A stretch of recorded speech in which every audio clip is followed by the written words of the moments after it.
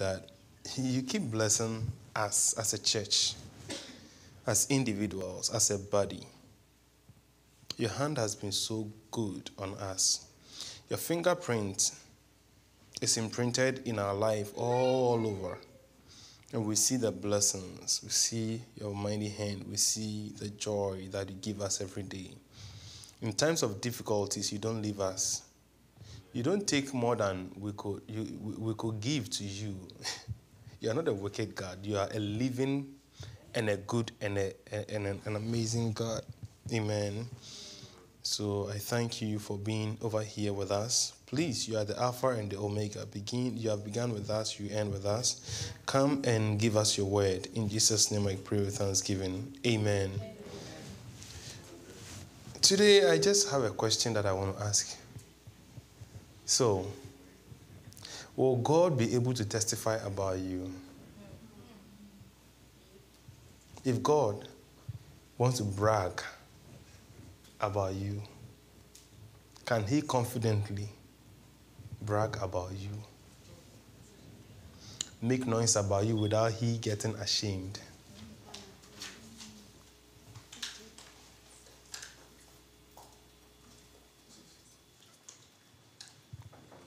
And if God cannot brag about us,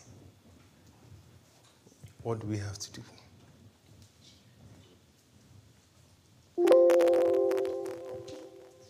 Because we all like accolades, right? We want people to praise us for what we do. And God also wants to brag about us. Mm-hmm. He likes it. It is one of the things that He does in the Bible. Can God confidently say that, Hayford, this is who you are, and I can just bet everything on you and say that, okay, Hayford will never do this thing. No matter what happens, he will not do it. And can God be proved right of what he's saying about me? Or can God point a finger at you and say that, look, go.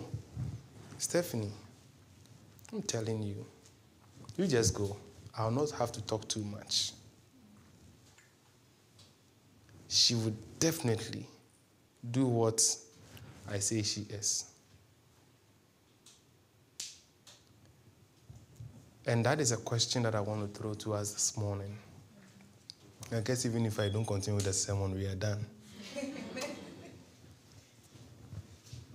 Amen. So turn your Bibles with me. Ezekiel chapter 14.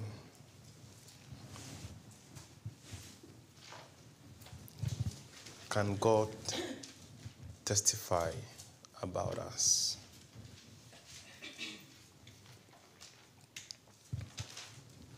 When I was putting this sermon together, I started getting emotional. It's like, God, this is deep.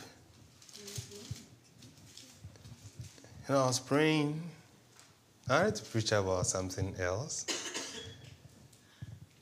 And I, I started praying, and it's like, these three boys, I was able to testify about them. What about us? Ezekiel chapter 14, from verse 12 going. It's a long scripture, but I don't want to read the whole thing. If you get a time, read from verse 1 going. The word of the Lord came to me.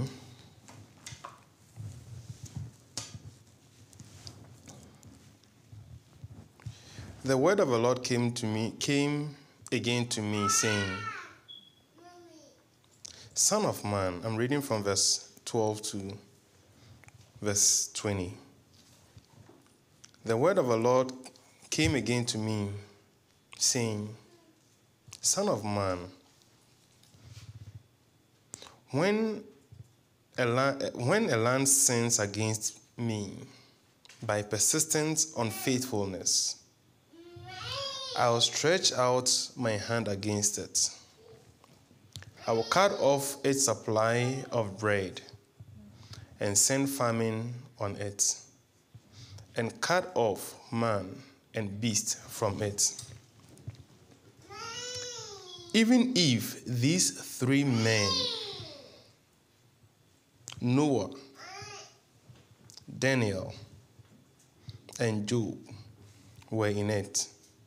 They will deliver only themselves by their own righteousness, says the Lord God.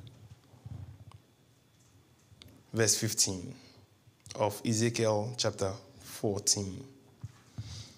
If I cause wild beasts to pass through the land, and they empty it, and make it so desolate that no man may pass through because of these beasts. Even though these three men were in it, as I live, says the Lord God, they will deliver neither sons nor daughters. Only they will be delivered, and the land will be desolate. Verse 17.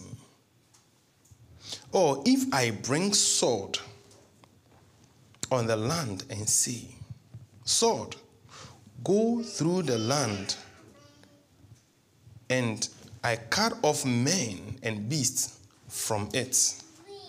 Even though these three men were in it, as I live, says the Lord God, they will deliver neither sons nor daughters, but only they themselves will be delivered.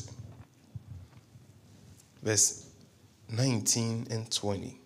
Or if I send a pestilence into the land, into that land, and pour out my fury on it, on it in blood, and cut off from it man and beasts, even though Noah, Daniel, and Job were in it. As I live, says the Lord God, they will deliver neither sons nor daughter, neither son or daughter. They will deliver only they themselves by their righteousness. They will deliver only they themselves by their righteousness. Their uprightness. They stand upright before God. These three men. These are four terrible things that plagues that if God should bring on the land, people cannot stand it. If he should send famine on the land, hunger, which hunger has caused some people to even kill their children in the Bible, right? They eat, eat their children because they were so much hungry and they did that. Now, if God should send a beast on the land to invade the land so that nobody can get out, if you get out, you'll be eaten by that beast. Those guys will not be touched because of their uprightness before God. If God was bringing judgment on the land to bring destruction, these people will be spared. Could God tell that to us? And if today I want to invade here, can you stand? With God's judgment will come in our time too. Are we able to, will we be able to stand if it comes, if the day comes, or will not be able to stand? That is a question that always we have to ask ourselves. And then ask yourself, what did these people do? These three people. What is the uniqueness, their character that they had? We've read about them over and over and over and over again. We read about one this morning Daniel. Daniel did a lot of things. If you read Daniel chapter 1, verse 8, Daniel purposed in his heart not to defile himself with the king's meat, the king's delicacy. He set himself apart. How many of us can set ourselves apart and say that, look, because of God, because of Jesus, I'll take the shame upon myself so I won't do this. I'll be ashamed of Christ. I'll make sure that um, I, I, I will stand for Christ. Let the whole world laugh at me. The whole world can laugh at me. Is everything okay? The whole world can laugh at me. But if it is all for the sake of Christ, I'm good. How many of us will stand for Christ? Daniel stood for Jesus, for, for God. It's like, yes, I know this good food is good. And let's let's face fact. You have good food before you. You have the wine before you. Great king's um, delicacy. I mean, you are not you, nobody, you have the food, you serve yourself. You eat what you can eat. You request and they give you. You don't, you don't have to be hungry before the king. The king says that eat and grow well, build your body, get some muscles for yourself. We want you to grow well. And as we were studying, Elizabeth brought something to our attention. I don't I think it's you, right? You said that Daniel was a teen, it was young, a teenager. So at that point, this guy could have really eaten like the food left and right with this left and right. You know, he has chicken here, meat here, take this, take that. But Daniel says that, no, I know my God. And so I will not defile myself. I will not let this food separate me from God. I will not let the gods of the Chaldeans separate me from my God. I will set myself apart for the Lord. And so it makes sense that how can someone be put in a lion's den, then a lion decide not to eat him up? Is it that the lion wasn't hungry? The lions were hungry because they have been starved, so they can eat Daniel very well.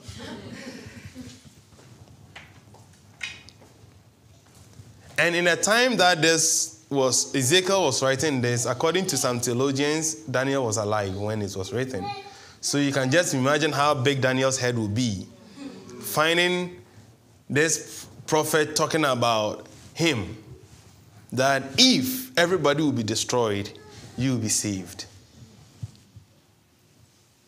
He set himself apart.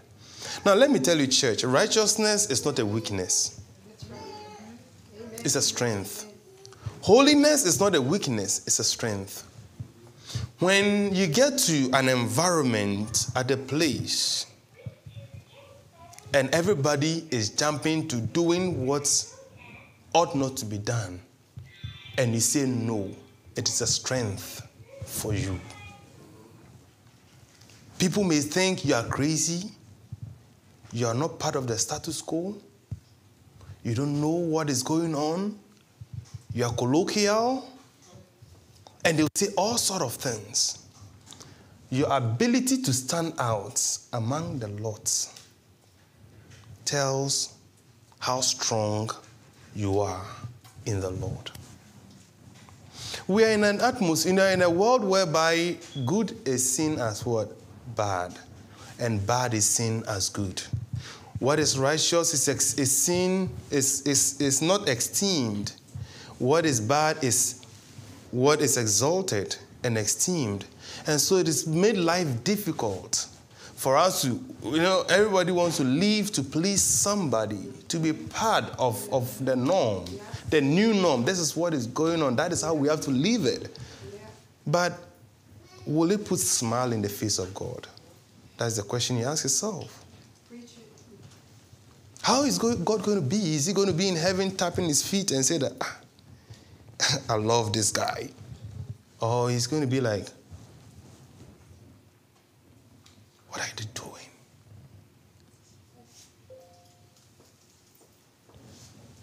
Can God testify about us?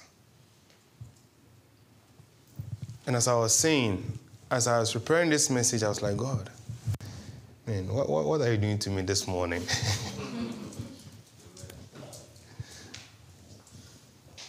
What are you doing to me this morning? He's always lifting the bar. Because we are not ordinary people. We are not commoners. Our citizenship is not on this earth here. We are just sojourners. We are passing. If we don't take care, we'll always let ourselves, we'll entangle ourselves with things here. And carnality dries spirituality. Carnality, it drives what? Spirituality. Become carnal in such a way that if you don't take care, the enemy gets you out. And so you see the scriptures through the lens of carnality. You see that because we want to satisfy ourselves, everything, we just pick the scriptures and then interpret it according as our carnal mind wants it to be. But it doesn't help. God has called us for greater things. I'm telling you. You are set apart for something great. Those people shut the mouth of lions. Can God shut the mouth of the enemy against you?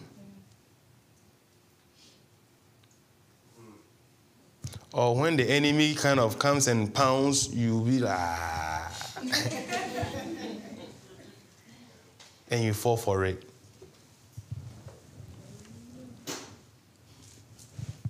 Holiness is necessary.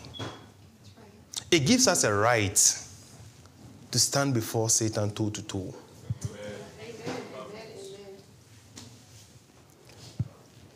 I'm telling you, that is why the enemy is trying to let us live our lives anyhow. So we cannot confront him. There is right in everything. You are citizens of America. If someone wants to deprive you of your rights, you stand with your chest out and say that this is my right. You understand it? But when you break the laws, no matter how your right is, you'll be put in a jail. And you can't say, it's my right, it's my right. No, you go to where you belong to. Because at that point, your right, you have the right, but your right also has a limit. The same way as a child of God, we have rights. But if we do some things that gives the enemy power over us, then though we have rights and we are strong, but we see that you become coward. Yeah. Yeah. Preach it. Right? You become coward. And you cannot confront your enemy. Though the Bible is even giving you the strength to do that, God is telling you to do that, but you see that it is natural. It's, it's, it's, it's called cosmic right. Like there's right in everything. There's right in everything.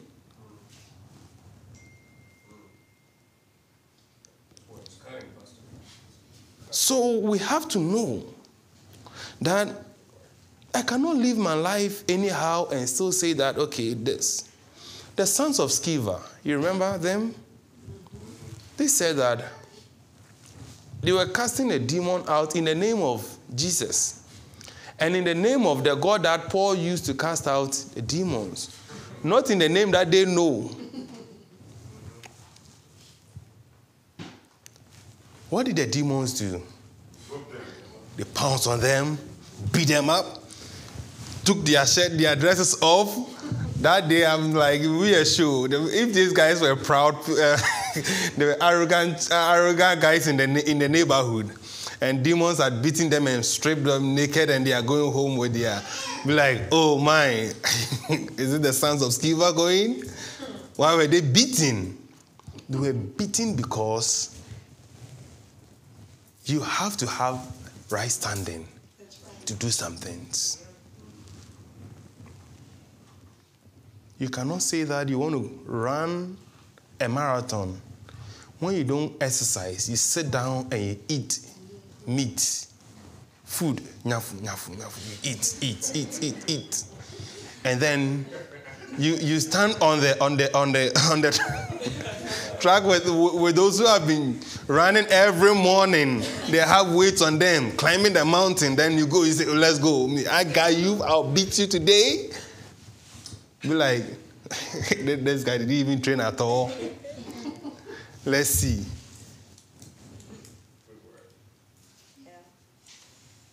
God is proud of us, eh, people of God. I'm telling you, we have no idea. No king will say that they, they are not proud of their royal, the people who are in royalty. Right? Every king is proud of the prince or the people belonging to the family. Because when they are not there, the people who are in the family, they reign, they rule. So they are proud of them. And therefore, they would want them to live as they also live. Because they rule with Him. Christ rules in the heavenly places with us. We are not commoners, we are not ordinary. We are people that God cherishes us. So Daniel says that instead of me eating this king's delicacy, I won't do that. And so it makes sense for God to say that if sword should come and kill the people, if fire should come down to consume people, if I bring my judgment, I'll spare these people. I'll spare their lives.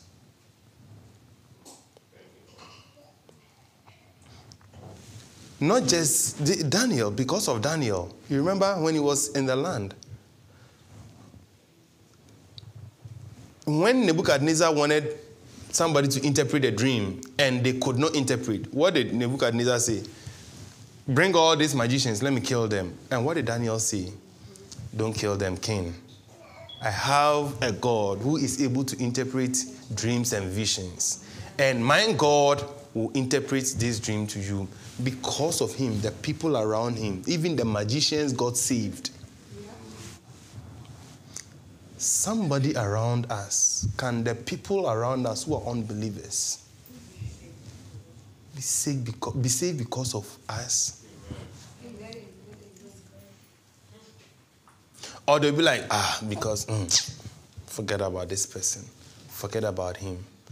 Right? Some of them forget about him. There are some people, because you do the right thing, they'll be like, forget about him. Um, that's not the one I'm talking about. Because there are some people, they don't want you to say the truth. So they always tell you, forget about him, right? I'm talking about the genuine ones. Who'll be like, yes, I like this guy. Not because he drinks with me, not because he does this with me. I like him because there is an excellent spirit in him. And I want what he has. Daniel did not win them because of anything, but he said, My God. He did not hide his identity. My God will do it. Nebuchadnezzar, I have a God who is able to interpret dreams, is able to interpret visions. Can God do that with us? He can. There is nothing he cannot do with us. See, there's what I wanted to preach was about you are a vessel of God. And I'll continue with this, not today. But there is nothing God cannot do with us. Active Word Church. God is able to do exceedingly, abundantly, beyond what we can think or imagine. And you have been called. If he did it, if he was able to testify about Daniel, if we if we stand right, eh, if if we it was in the days of the letters, the days where it was do's and don'ts, they were able to stand upright with God. Righteousness was not imputed on them. They just literally lived their life for God. In our days, we have the Holy Spirit. We have the Bible written for us.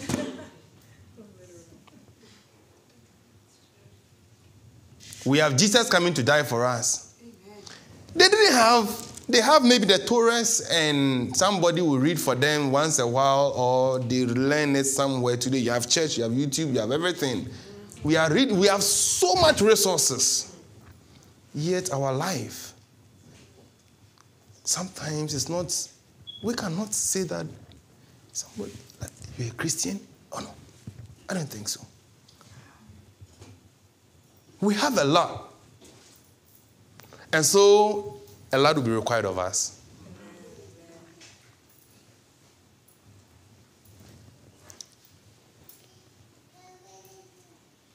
Daniel was confident to say that, test me.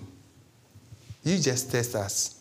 Give us veggies and test us.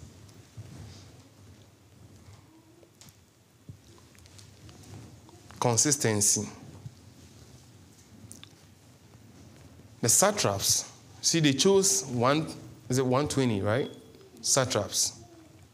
And then they chose three people to be on top of the satraps. So the satraps are like the, those who are going to the governors and the senators and whatever it is in our system.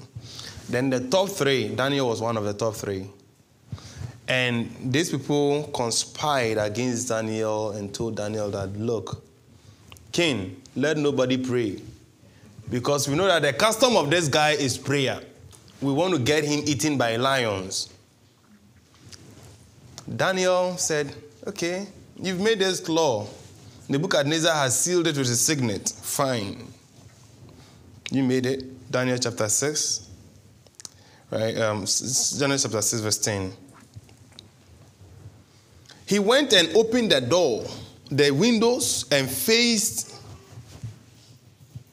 Jerusalem so he can pray well. If somebody tells you, don't pray, you go and hide under your bed and pray, or in your closet and pray. For that is that is what makes sense. True of us. You tell me not to pray. I want to pray. What do I do? Hide and pray. Doesn't make sense to just go and then open the windows, just clear everything, and then face somewhere where everybody is looking at you. So they can arrest and arrest you well. My goodness. What a faith. Why won't God really be proud of this guy? Don't pray to your God.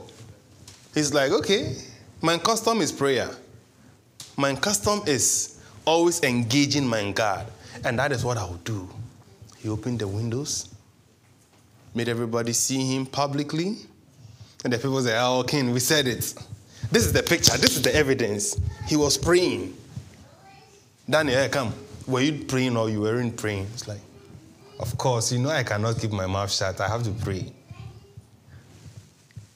Then Daniel was arrested, but the lions could not eat Daniel up. Let's be consistent in our Christian journey. Not today we are hot, tomorrow we are cold. Flip flop. We get to this environment, we are Christians. We come to this environment, we are not Christians. We are Christians at home, we are, we are not Christians at work. Or we are Christians here, we go to another place, oh, put, put God somewhere in the pocket. Here it is not God. You know, let's talk about the business here. Christ in you, the hope of glory. Everywhere you go, you carry Christ, so that glory will be there everywhere. Everywhere. Everywhere. We are human beings, yes, once in a while we'll just falter. But we cannot be flip flopping. Consistency. Can God testify about us? Can God brag about us? Like this man called Daniel? Noah was this another one. The whole world, in Genesis chapter 6, verse 1, he says that, Now it came to pass, when men began to multiply on the face of the earth, and daughters bore, and daughters were born to them, that the sons, Genesis chapter 6, verse 1, verse 2, that the sons of God saw the daughters of men, that they were beautiful, and they took wives for themselves, of all whom they chose. And Lord said, My spirit shall shall not strive with man forever, for he is indeed flesh. Yet his days shall be 120 years. Men sin so that so much that God cuts their ear, their, their, their lifespan on earth. Sin chopped off their lifespan. They used to live 500 years, 400 years, 600 years, and then they, they will live and live and live and live and still will be young. Today, people, if somebody is 30 years and you see him, all the body is just, is just um, dying. Sin. Sin is a decay.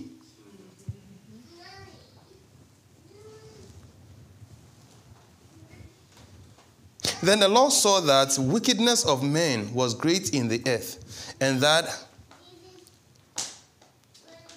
every intent of the thoughts of his heart was only evil continually. So, in the days of Noah, sin was so rampant, so much that if you go here, you smell sin. Was in their face. and then God says that I will destroy man. Verse 7 I will destroy man whom I have created from the face of the earth.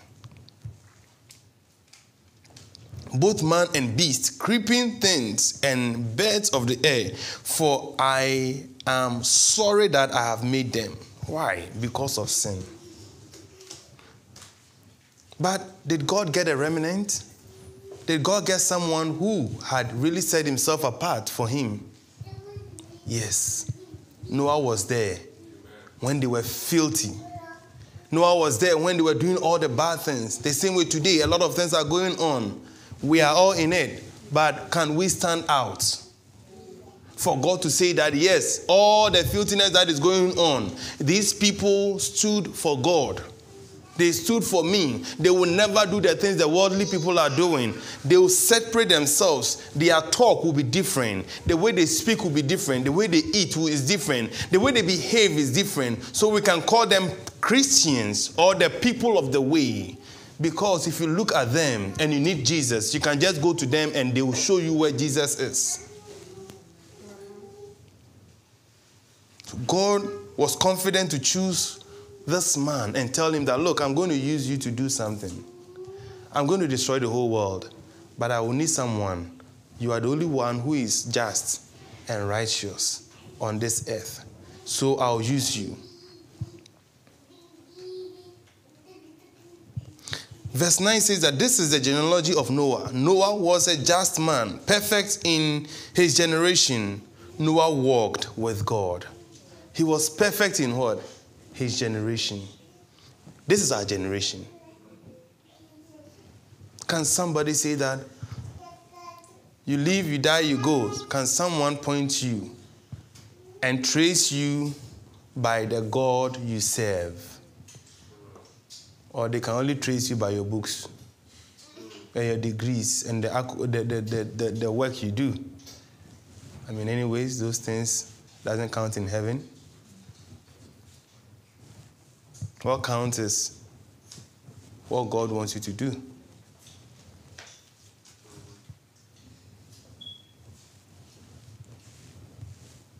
I'm not saying don't go to school.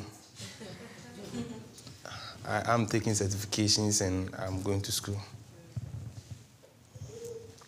So go to school, but do what is right. This is the genealogy. This man was perfect. He walked with God. Walk with God. Walk with God. Walk with God. Let's walk with God. Praying, listening to Him, spending time with Him, hearing Him, training our voice, training our ears to know from Him. If you are not hearing from Him or you are not seeing from Him, just tell, be worried. I don't know, but if I don't, if I don't hear God or I don't see Him a little bit, it's like He is far away and I'm so much worried.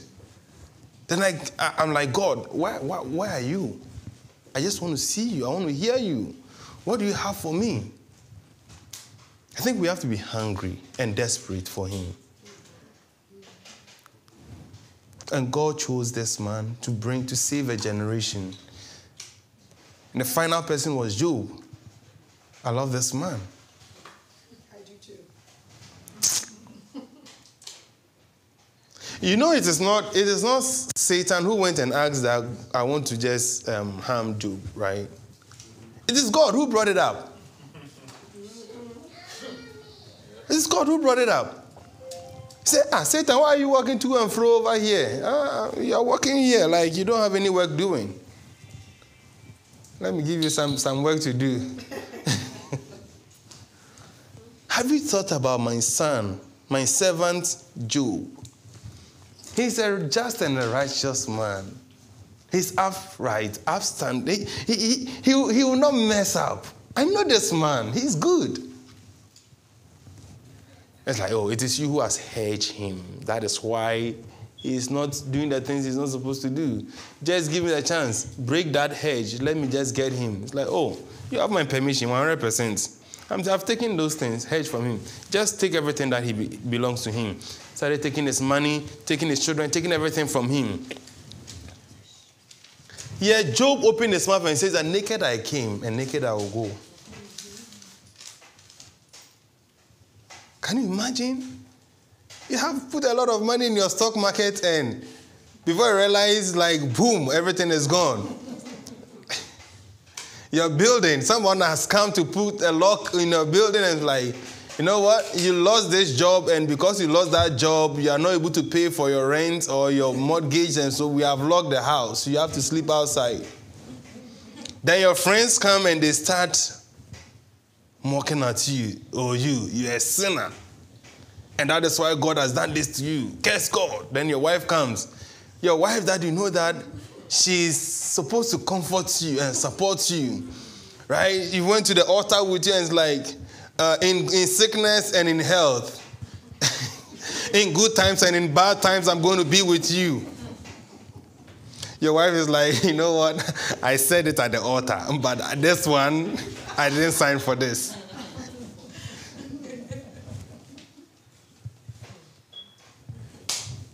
In goodness, I enjoyed it. I mean, we were having fun.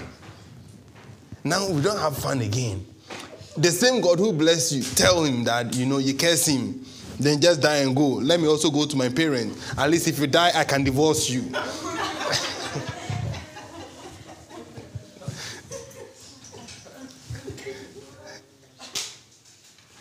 then Job is like me, open my mouth and curse God. I will not. It is he who gives, and it is he who takes. So I'll never raise my voice against him.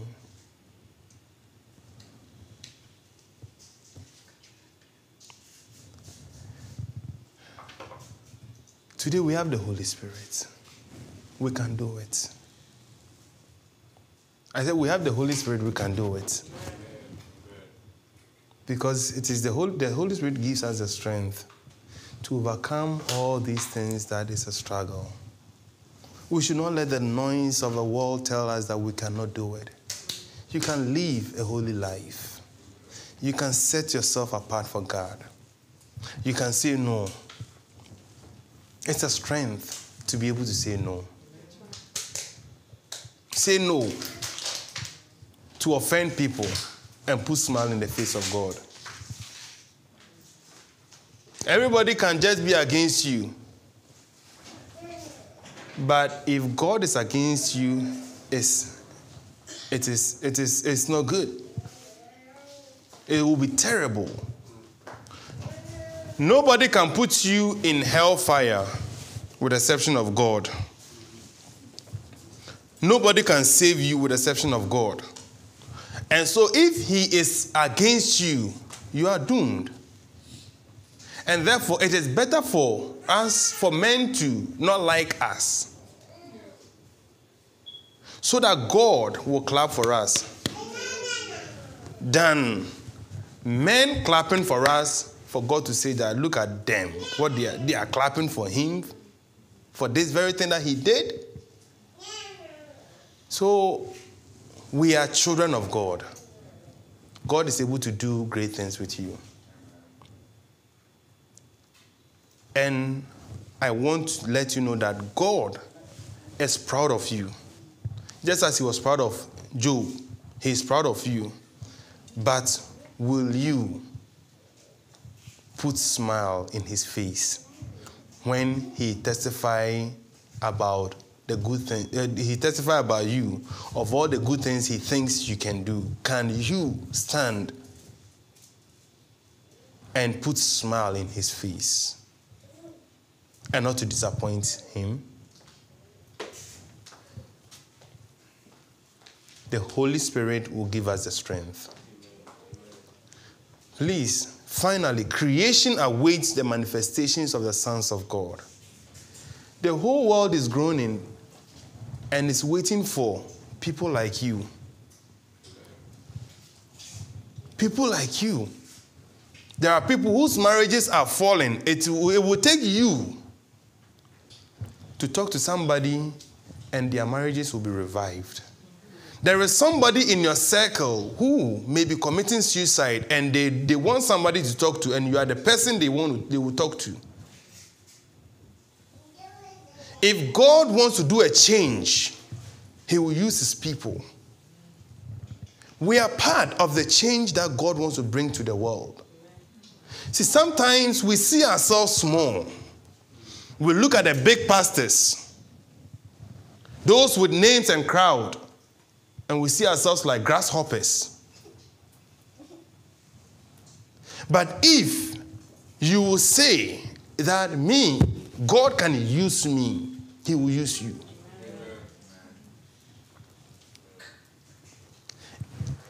It starts from the little, little things. Be confident, stand out for the Lord. Set yourself apart.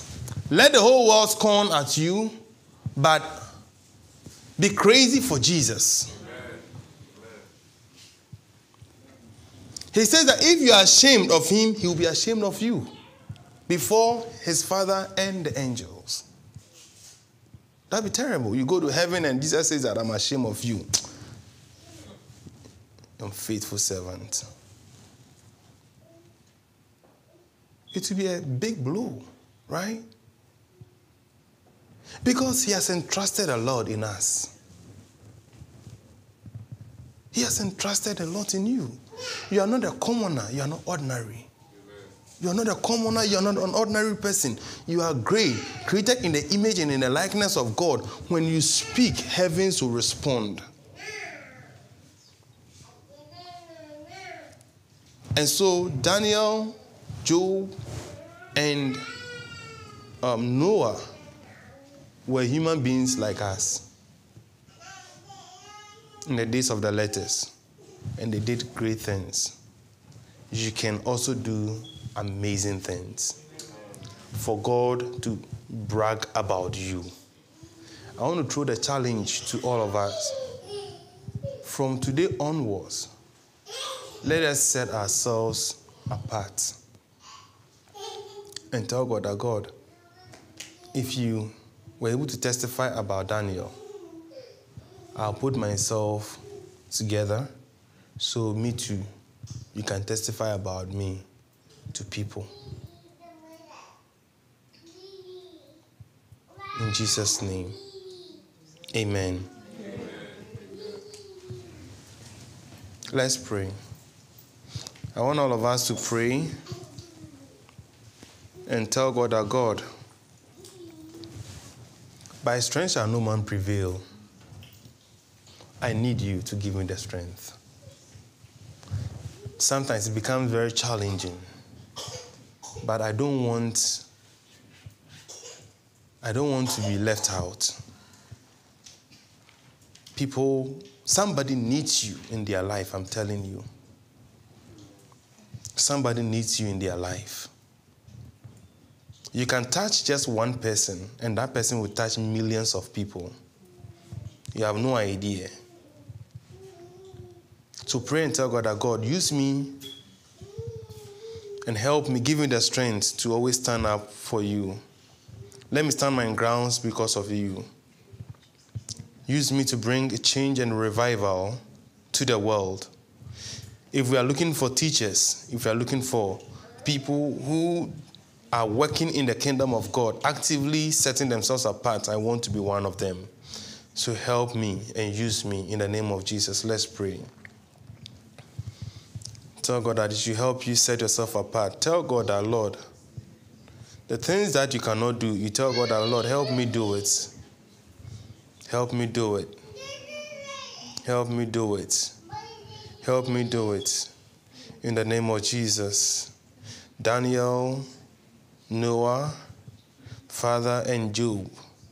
These people, God, you use them. They set themselves apart and you showed yourself in their life. Every time you proved yourself that you were with them. You proved yourself that you were with them. You proved yourself that you were with them. So we too, we are in your hands. Lord, be with us in the mighty name of Jesus. In the mighty name of Jesus, give us the strength to overcome every fleshly desire, issues in life. May we stand for you, Jesus. May we not bow to the idols of the world because you use us to crush the idols.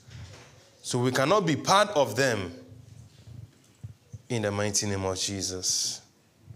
Thank you for being our Lord and our God. In Jesus' name I pray with thanksgiving. Amen. Father, let your peace be with us. This week, give us the strength. Remind us of who we are every day. Give us the strength to know what we are able to do. In the name of Jesus. May the Lord go with you. May his countenance be upon you. May he cause his face to shine upon you. May he be gracious to you. May God exalt your horn. May God put his power in your mouth. You are protected from sicknesses. I seal you with the blood of Jesus. I thank you, God, for being with us. Your week is blessed. Your day is blessed. Your children are blessed. Your family members are blessed. Your parents are blessed.